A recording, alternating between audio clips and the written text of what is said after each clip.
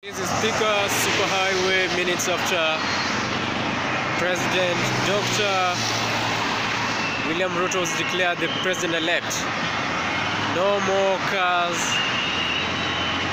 only celebrations.